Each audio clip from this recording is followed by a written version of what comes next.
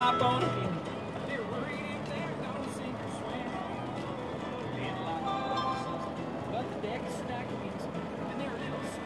All right, uh, end of the day.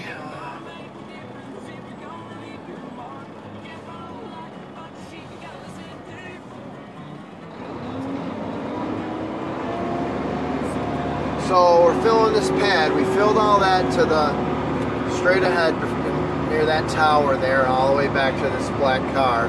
Yesterday, all filled in. And then today, we started filling in the end of this driveway here, which is straight across from that between the trailer and that, and then all the way down where the dozer is over there. I'm backing down in there now. Um, he's got to sign me out. He's got a couple loads over there now. He's got to doze in. But it's finally cooling down. I haven't had my heat on all day since early, early this morning. Okay, gotta lock it in and take the triaxle up. Oh, looks like we're dumping back there straight. And it's not a lot of spots to get down there. Oh, I see it. I think I'm gonna take this other road over. There's a guy kind of watching here, so I guess I'll shut it off.